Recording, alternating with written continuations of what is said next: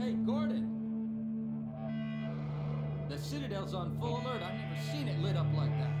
Get out of City 17 as fast as you can, Gordon. Take the old canals, right? They'll get you to Eli's lab. It's, it's a dangerous route, but there's a whole network of refugees, and they'll help you if they can.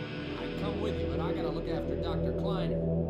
Oh, and before I forget, I think you dropped this back in Black Mesa. Oh, shit!